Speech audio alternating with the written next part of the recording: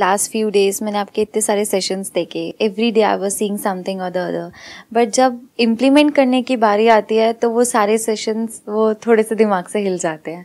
तो हमें कैसे सीख के, हमें कैसे, क्या करना चाहिए जो हमें इम्प्लीमेंट उसी स्टेज पे हमें इम्प्लीमेंटेशन हो? Please and I am sure ये आप सबकी प्रॉब्लम होगी। कि हम सीख तो लेते हैं, लेकिन जब इम्प्लीमेंट करने की बारी आती है तो वो सब जो सीखा था, वो याद ही नहीं आता है। याद भी आता है तो ये नहीं समझ आता है कि उसको इम्प्लीमेंट कैसे करूँ? अब आपका क्वेश्चन मुझसे ये होना चाहिए कि आप मेरे सेशन देखते तो हो, लेकिन उससे कैसे सीखे? सीखना क्या है? क्या जो आपको सीखना लग रहा है वो सीखना है? या सीखना कुछ और ही है? अब प्रॉब्लम क्या होती है? हम पहले अज्यूम कर लेते हैं। मैं आपसे पूछूँगा व्हाट इज़ लर्निंग आप कहोगे, नहीं, मुझे पता है लर्निंग क्या है। तो वहीं पे खेल खत्म हो जाता है। तो इसका मतलब आपको नहीं पता कि लर्निंग क्या है। बिकॉज़ अगर आप कहोगे, मुझे पता है तो दैट मीन्स आप अटक गए हो। लर्निंग इज़ ऑलवेज ओपन हो सकता है आज जो मैं लर्निंग के बारे में बात करने वाला हूँ, एक महीने बाद कोई सेशन करूँ, उसमें लर्निंग का ही एक अलग एस्पेक्ट टच कर दूँ। तो I am open for learning but you are not open for learning क्योंकि जैसे ही मेरे उस सेशन को आप देखोगे तो आप कंफ्यूज हो जाओगे। आप कहोगे अच्छा लर्निंग की आपने इस सेशन में तो ये डेफिनेशन दी है। वहाँ पर आप कुछ और ही बात कर रहे हो लर्निंग के बारे में। तो क्या ये सही है या ये सही है? समझ गए? इसको लर्निंग कहेंगे ही नहीं। इसका मतलब आपने कुछ सीखा ही नहीं है। क्योंकि लर्निंग इज़ एंडलेस अगर लर्निंग के ऊपर ही मैं बात करता रहूँ if I understand what learning is तो I can go on for my entire life अगर मुझे नहीं पता लर्निंग क्या है तो मैं फटाफट से गूगल में सर्च करूँगा अच्छा this is the definition of learning ये है, रट लो, आपको भी समझ आ गया, मुझे भी समझ आ गया लर्निंग क्या है. ऐसे ही स्कूल कॉलेज में टीचर्स और प्रोफेसर पढ़ा रहे हैं, ऐसे ही स्टूडेंट्स पढ़ रहे हैं। तो लर्निंग कैसे होती है? एक होता है हमारे ऊपर या तो कोई प्रेशर क्रिएट किया जाता है, यानी कि हमको कोई लालच दिया जाता है, या हमारे अंदर डर क्रिएट किया जाता है, उस वजह से हम सीखते हैं। हमारा इंटरेस्ट नहीं है उस काम में। हमें अच्छा नहीं लग रहा है, लेकिन सीखना पड़ेगा। जैसे स्कूल कॉलेज में जाना, पढ़ना, लिखना पसंद नहीं है, फिर भी क्योंकि उसके पीछे कुछ लालच है, कुछ डर है तो चलो पढ़ लेते हैं ना, चार साल कर लेते हैं ना। उसके बाद में कहीं जॉब करने के लिए आप गए उसके लिए आपको एक मशीन चलानी सीखनी पड़ेगी। वो मशीन कंप्यूटर भी हो सकती है, कुछ भी हो सकती है depending upon the nature of your job तो वो भी आपको सीखना पसंद नहीं है, लेकिन वहाँ पर आप सीख रहे हो। इस सीखने को आप मैकेनिकल लर्निंग बोल सकते हो। ये लर्निंग की क्या लिमिटेशन है? ये आपको मशीन का तो एक्सपर्ट बना सकती है, क्योंकि एक मशीन के अंदर अगर आपको ट्रेन करते जाएँ करते जाएँ तो वो मशीन आप सीख जाओगे। जैसे हम गाड़ी चलाना सीख जाते हैं। ऐसे ही अगर आपको एक तरह का काम सिखाते रहे सिखाते रहे सिखाते रहे सिखाते रहे तो वो काम करना आपको आ जाएगा। और उसमें आप एक पर्टिकुलर लेवल पे भी पहुँच जाओगे, वहाँ से पैसा भी आ जाएगा। तो आप उस काम के तो एक्सपर्ट बन गए, जहाँ से आपके पास में पैसा आ रहा है, लेकिन आप लाइफ के एक्सपर्ट नहीं बने। तो मैं किसकी बात कर रहा हूँ? Learning which is related to life learning what life is which is very different from learning what this machine is तो आपकी आदत क्या है? बचपन से लेकर के आज तक। Mechanical learning mechanical way of learning which is what information अंदर गई, उसको मॉडिफाई किया और बाहर उगल दिया। चाहे अपने एक्शंस के थ्रू चाहे वर्ड्स के थ्रू न्यूज़ में कुछ देखा, अखबारों में कुछ पढ़ा, फिर जा करके ग्रुप में बैठे हुए हैं। शादी में आठ दस लोग बैठे हुए हैं। सब रोबोट्स की तरह। पहले से ही प्रोग्राम्ड हैं। पहले ही अपने अपने ओपिनियंस बनाए हुए हैं। यहाँ से ये कुछ बोलेगा। सामने से उसका रिस्पॉन्स पहले से ही तैयार है। बिना सुने कि नहीं, जो तू कह रहा है वो गलत है, इधर से कोई आएगा नहीं, जो तू कह रहा है वो सही है। समझ गए? ये किस दायरे में आ रहा है? मैकेनिकल वे ऑफ़ लर्निंग तो अगर आप यही कर रहे हो, पूरी ज़िंदगी आपने यही किया तो क्या एक रोबोटिक लाइफ नहीं है? कि आपकी ब्रेन के अंदर कुछ फ़ीड कर दिया, उसके हिसाब से आप एक्ट कर रहे हो। This is not learning at all मैं उस लर्निंग की बात ही नहीं कर रहा हूँ। अब प्रॉब्लम क्या हो रही है? आप मेरे सेशंस भी ऐसे देख रहे हो। देखते तो हो। आदत वही पड़ी हुई है। अलग देखोगे कैसे जब तक समझोगे नहीं वॉट इज़ लर्निंग क्या लगता है मैं अपनी मेमोरी से बोल रहा होता हूँ या कहीं और से बोल रहा होता हूँ? पकड़ पाते हो इस चीज़ को। जिस तरह से मैं बोल रहा होता हूँ उसमें और दुनिया जिस तरह से बोल रही होती है उसमें कुछ फ़र्क नज़र आता है? क्या फ़र्क नज़र आता है? मैं मेमोरी से बोल रहा हूँ या कहीं और से बोल रहा हूँ? वर्ड्स तो मेमोरी से आ रहे हैं। ये जो वर्ड्स के अंदर जगलिंग चल रही है वो तो मेमोरी से आ रही है। लेकिन जिस चीज़ के बारे में मैं बात कर रहा हूँ, क्या वो मेमोरी से आ रही है? I am just seeing things as it is and just using memory to say it to you दोनों में फ़र्क समझ आया? इस तरह से रियलिटी को देखना और समझना ही लर्निंग है। Real learning of what life is अब गड़बड़ क्या होती है? इस लर्निंग को भी लोग लर्न कर रहे हैं मैकेनिकल वे में। यानी बुक्स के थ्रू तो आप अगर 50 अलग अलग बुक्स पढ़ोगे तो 50 में अलग अलग बात करी जाएगी लाइफ के बारे में। अब आप कंफ्यूज हो जाओगे। आप कहोगे, उस बुक में वो लिखा है, वहाँ पर वो, वहाँ पर वो, वहाँ पर वो, वहाँ पर वो, वहाँ पर वो। कंफ्यूज हो जाओगे। तो क्या ये लर्निंग किसी काम की है? लर्निंग कब है काम की? जब वो लर्निंग कंफ्यूजन को खत्म कर दे पूरी तरह से। दैट इज़ रियल लर्निंग आपको पता कैसे लगेगा कि लर्निंग सही हो रही है, नहीं हो रही है? जब कोई कंफ्यूजन नहीं है। माइंड बिल्कुल क्लियर है। अब वो माइंड क्लियर कैसे होगा? क्या बातों से होगा? समझना किसे कहते हैं? एक दो तरीके हैं मेरे सेशंस को देखने के। अब मैं बिल्कुल पॉइंट पे आ रहा हूँ कि अभी तक भी पॉइंट पे था वैसे। एक तरीका आपके पास में एक ऑप्शन ये है कि उसको देखो एनर्जी के लिए मज़ा आता है। मूड अच्छा हो जाता है। है ना? एक थ्रिल है।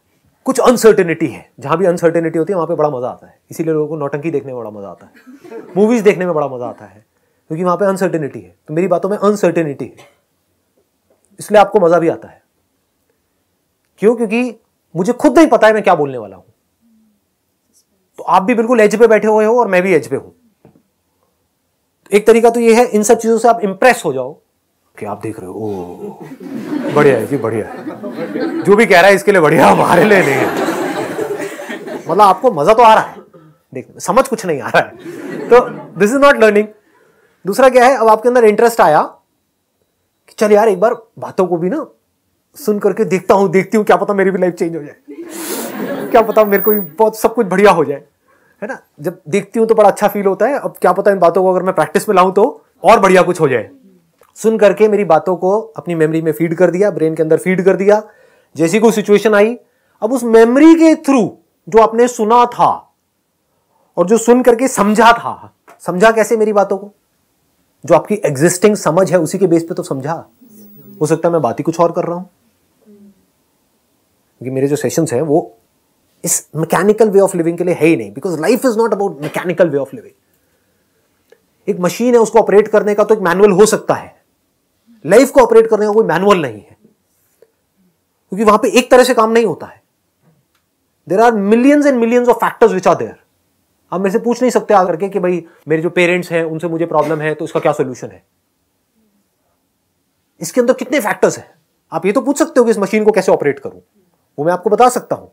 How to operate this machine how to have a good relationship with my parents बताओ मैं क्या जवाब दूँगा आपको। मुझे पता है आपके पेरेंट्स कैसे हैं। मुझे पता है आप कैसे हो? कितने नीच प्राणी हो आप? या दिखा कुछ और रहे हो, अंदर से कुछ और हो? तो आपको कौन जानता है? आपकी जो सच्चाई है, या आपके घर की सच्चाई है, या जो भी कुछ है, उसको कौन, अगर जान सकता है तो कौन जान सकता है? आप खुद ही जान सकते हो। एक बात पक्की है, मैं तो नहीं जान सकता। तो मैं आपको क्या सोल्यूशन दूँगा? आपको मुझसे मैकेनिकल सोल्यूशन चाहिए उस प्रॉब्लम का, जो मैकेनिकल है ही नहीं। Life is not mechanical life में तो कहीं से भी कुछ भी हो रहा होता है ना। तो ये जो लर्निंग है mechanical way of learning by watching my sessions it won't work इससे कुछ नहीं होगा। इससे क्या होगा? आप और कंफ्यूज हो जाओगे। अच्छा लगेगा। आपकी ईगो भर जाएगी। कि मुझे समझ आ गया है। और जा करके आप लोगों को समझा भी दोगे। समझ है ना? मतलब ज्ञान बांटने में कोई टैक्स थोड़ी लगता है। कोई आएगा तो भाई आपने तो मेरे इतने सेशंस देख लिए हैं। उन्होंने कुछ भी नहीं देखे हैं। तो आप जा करके वो जो भी आपके अंदर फीडेड है वो सब जा करके चेप दोगे। अरे कुछ नहीं जो होता है अच्छे के लिए होता है। समझ आ गई जी सारी बातें। हाँ, समझ गए? यही होता है। कभी देखना मतलब मेरे को तो सबसे ज़्यादा जो मज़ा आता है ना मतलब एक्चुअल में जैसे शमशान घाट में आप में से कोई गया है कभी? तो वहाँ पर जाकर देखो सारे ज्ञानी भरे पड़े होते हैं। तो बेटे जो आता है वो जाएगा। उनसे पूछो अंकल जी आप जाने के लिए तैयार हो? बोल रहे हैं। क्योंकि पढ़ लिया है सुन लिया हाँ, ठीक है जी। अब मैं आपको रियल लर्निंग बता रहा हूँ। वो क्या है? मैं मेमोरी से नहीं बोल रहा। तो जो मैं बोल रहा हूँ, उसको आप अपनी मेमोरी में फ़ीड क्यों कर रहे हो? स्टेप बाय स्टेप मैं बोलता चला जा रहा हूँ। उसको आप देखते चले जा रहे हो, समझते चले जा रहे हो। ये समझते चले जा रहे हो कि किसी भी प्रॉब्लम को समझते कैसे हैं? उसका सोल्यूशन कैसे निकालते हैं? तो एक तरह से क्या हो रहा है? आपकी ब्रेन की एक्सरसाइज हो रही है। इस एक्सरसाइज का होना ही लर्निंग है। जैसे फ़िज़िकल एक्सरसाइज करोगे तो बॉडी बन जाएगी। उसके लिए कुछ और नहीं करना पड़ेगा। That in itself is a complete action ऐसे ही, अगर आप अपनी ब्रेन की एक्सरसाइज करोगे, मेरे साथ में ब्रेन की सही तरह की exercise not through memory but by seeing things as it is बातों को मत पकड़ो वर्ड्स को मत पकड़ो, समझ जाओ जो वर्ड्स हैं वो कचरा है उसका यूज़ सिर्फ़ इतना सा है कि आप वो देख सकोगे वो वर्ड कहाँ पे इशारा कर रहा है। This comes in my experience in fact everything that I say is in your experience so you don't need memory to see that you need memory जब मैं कोई ऐसी बात कर रहा हूँ जो आपके एक्सपीरियंस में ना हो। फॉर एग्ज़ाम्पल मैं बात कर रहा हूँ, ऐसे बहुत लोग हैं उल्टी सीधी ऐसी वीडियोस बना रहे हैं आज की डेट में मतलब बड़े बड़े हैं। आप देखोगे, वो क्या बातें कर रहे हैं? कॉन्शियसनेस के बहुत सारे स्तर होते हैं। एक होता है बेसिक कॉन्शियसनेस एक होता है सुपर कॉन्शियसनेस एक होता है सुपर डुपर कॉन्शियसनेस आपको यहाँ से उठ करके वहाँ जाना है। तो क्या बातें हो रही हैं? मैंने पूरे सेशन में जो भी कुछ बोला है, क्या उन सब बातों को आप रिलेट कर पा रहे हो? रियलिटी से yes. इसको सीखना बोलते हैं। अब रिलेट करो और उसको छोड़ दो। जो भी सेशन में बातें हुई हैं, सब कुछ छोड़ दो। उसको मेमोरी में फ़ीड करने की ज़रूरत नहीं है। आपकी ब्रेन स्ट्रांग हो गई है। आपकी ब्रेन की एक्सरसाइज हो गई है। अगर इस तरह से स्टेप बाय स्टेप आपने देख लिया है, उन वर्ड्स की अब आपको ज़रूरत नहीं है। आपको वो वर्ड्स काम नहीं आने वाले हैं। वो बातें काम नहीं आने वाली है। लेकिन ये जो ब्रेन की एक्सरसाइज हुई है, ये ब्रेन काम आने वाली है। समझ गए? जैसे फ़िज़िकल लेवल पे किसी से लड़ना है तो अगर आपने फिजिकली एक्सरसाइज करी किसके साथ एक्सरसाइज कर सकते हो जिसकी खुद की बॉडी बढ़िया हो? जो खुद फिसड्डी हो वो आपको क्या एक्सरसाइज कराएगा? हाँ जिसको खुद को ही नहीं पता फ़िज़िकल एक्सरसाइज क्या है। वो तो उसकी उसके साथ में तो अगर आप एक्सरसाइज करोगे तो इंजरी हो जाएगी।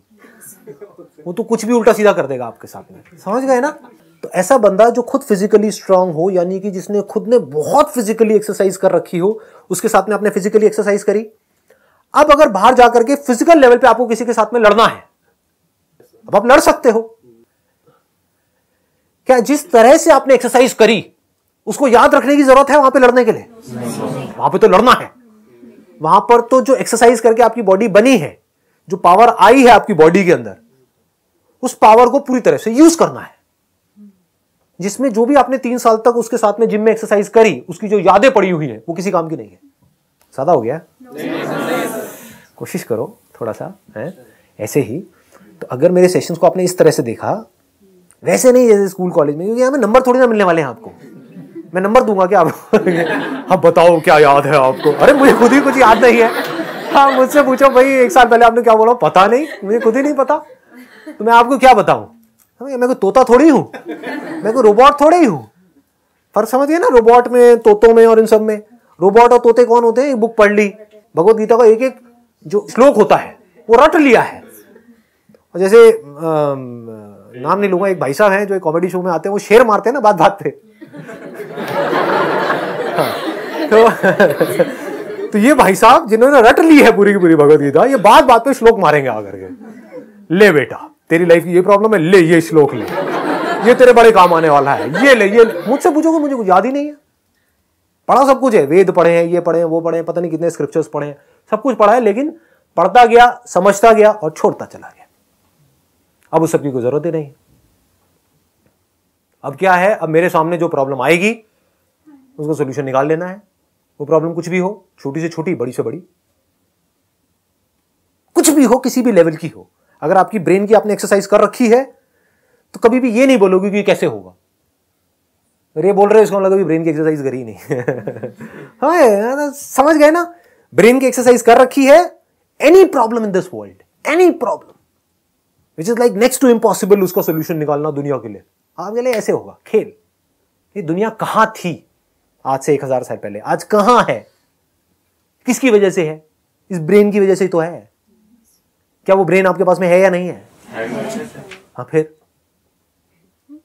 क्या होता है? क्या आपको अंदर से ये बोलने के लिए मजबूर कर देता है कि ये नहीं हो सकता है? क्या नहीं हो सकता है? तो अगर आपने अपनी ब्रेन की सही तरह से एक्सरसाइज करी सही तरह से सीखा मेरे सेशन से। क्या सीखा? कुछ भी मेमोरी में फ़ीड नहीं किया। जो मैंने आज कहा अब हल्के भी हो गए ना इससे? Yes, नहीं तो ब्रेन में बर्डन आ जाता है। अब याद रखो अब जब प्रॉब्लम आएगी तो अब वो याद क्यों नहीं आ रहा? अरे ज़रूरत ही नहीं है याद करने की। इट्स नॉट रिक्वायर्ड तब तो आपकी ब्रेन बिल्कुल खाली होनी चाहिए। जो मैंने बोला वो भी याद नहीं होना चाहिए। सिर्फ़ जो प्रॉब्लम है उसके साथ आपको जुड़ जाना है। इस तरीके से जुड़ जाना है कि आप और वो प्रॉब्लम एक हो गए। जैसे ही आप उस प्रॉब्लम के साथ एक हुए उस प्रॉब्लम में से ही आपको सॉल्यूशन निकलता हुआ नज़र आएगा। फिर आपको ये जो दो वर्ड्स मैं अपने सेशन में यूज़ करता हूँ हर सेशन में यूज़ करता हूँ उसका मैग्नीट्यूड आपको समझ आएगा। कौन से हैं वो दो वर्ड अरे नहीं खच्चर दो है। आसान है। आसान है।